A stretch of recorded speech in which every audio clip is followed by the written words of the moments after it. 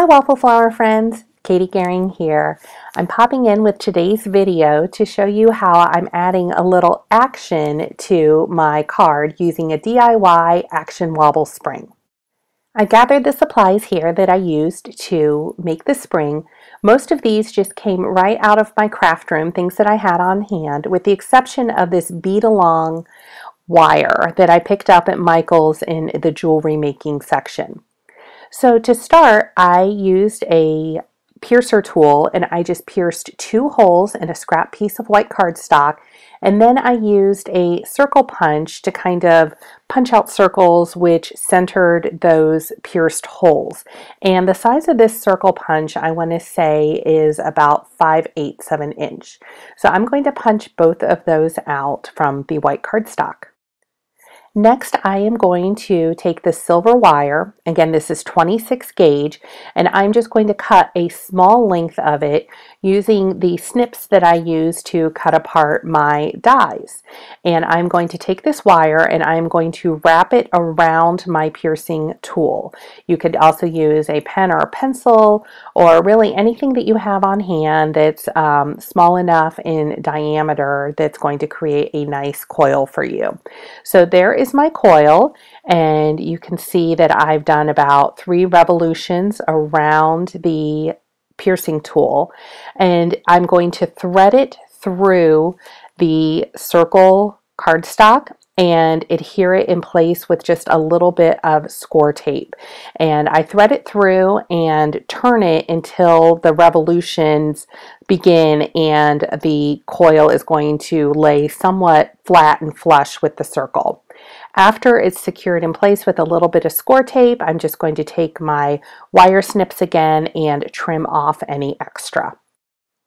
I'm going to repeat the same action on the other end of the spring, just kind of threading on the circle cardstock, um, threading it until it starts the coil, and then I'm going to secure it again with score tape trim off the extra with the wire snips and then my coil will be ready for use a little bit later on when I get to that part of the card. And here I'm just giving it a little bit of a, a test wiggle and so that's going to work really well.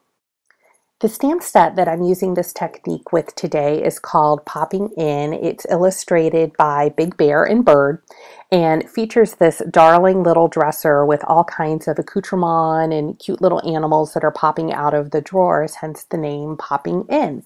So I have arranged them onto a panel of white cardstock. I'm just going to press down the lid of my MISTI and then I'm going to ink up the stamps using a Copic friendly ink. Um, I'm using brown because I'm going to be using lots of tans and neutrals and um, earth tones in my card today. So I thought that a brown ink would blend really nicely.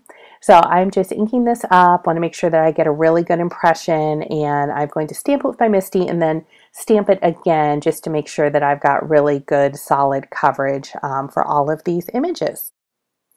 All of my images are stamped, but as a final step, I want to add this little pair of round eyeglasses to the bunny rabbit image. I just love these glasses. They kind of remind me of Harry Potter. So this is my little Harry Potter bunny. And um, there's everything all stamped out and ready for me to color. I'm coloring in the images using Copic markers and for the dresser and the drawer I am using the E30 color family. So this is going to include the markers E31, 33, 35, and I'm just sort of loosely coloring it in. I'm adding a few darker tones around the outer edge, kind of where it would be recessed, so I thought the drawers would be a little bit darker. And then along the, the bottom and perhaps where some shadows would be. But I'm not too worried about getting it um, super precise or super realistic just due to the whimsical nature of the stamp set. Um, it's really fun to coloring because you can just kind of have fun and it's it's whimsical and it's not meant to be super realistic. Um, so images like this are just really a joy to color. I've colored in the toy bear in yellow and then I kept the rabbit pretty much um, a neutral tone, mostly white, just using a little bit of a warm gray to add some shading. And I'm just adding a little bit of pigment to his cheeks and his ears. Now I've gone back in with a darker um, E30 shade. I think this is E39 and I'm just adding the knobs in place and um, I'm going to color in that cute little radio that's playing um, with some warm grays.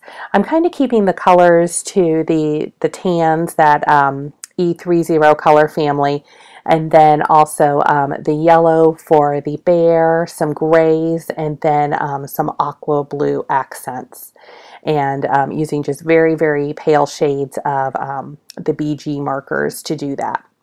Now that everything is colored in, I'm going to go ahead and die cut everything using the coordinating popping in dies. I'm going to run those through my Big Shot and those will pop out really nicely. I'm going to have to do a second round on that clock because um, it was a little too close to the dresser to get the dies to fit. So now I'm going to prepare my background and to do that I've pulled out a panel of Distress Specialty Stamping Paper. I love this stuff. If you guys haven't had a chance to use it, it's fabulous. Um, it really makes ink blending quite easy. Um, it's got some type of specialty coating on it um, so that the ink just really glides across the surface. Um, it's really fun to work with. And so I have pulled out a panel of that and then I am using the Tumbled Glass um, Distress Ink Mini Cube and a round circle dauber and I'm just going to create a little bit of an inked background that I'm going to use as the backdrop for my card. My backdrop is all finished and so now I'm going to just place my die cut elements onto the card. I need to figure out where I'm going to stamp my sentiment before I start adhering everything down. So I'm just figuring out the placement of everything, um, make sure all of the different elements are going to fit and I'm going to have room for my sentiment as well. I stamped my sentiment onto the specialty stamping paper using a brown StazOn ink. Um, the paper has a little bit of a coating on it that um, makes it really easy for ink to glide on and I wanted my sentiment to dry quickly um, so that's why I opted for the brown StazOn ink just to make sure that it was going to dry quickly and not smear on my finished product. So I'm just using a little bit of tape runner to adhere all of the different elements to the card.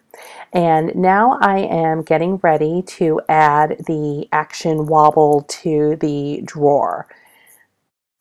I've pulled out the wobble spring that I created earlier and you'll recall that I use score tape um, on both sides of the cardstock circles to hold the spring in place.